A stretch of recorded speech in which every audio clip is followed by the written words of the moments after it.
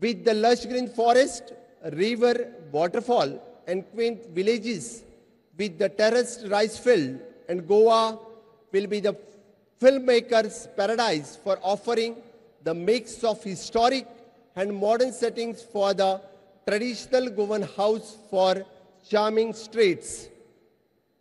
When it comes to film locations, we have got the streamlined system for the shooting films offering hassle-free permits to assess and diverse the locations. Being the Chief Minister of Goa, I also the Chairman of the Entertainment Society of Goa, I promise to extend all kind of support for the hassle-free film shooting and experience.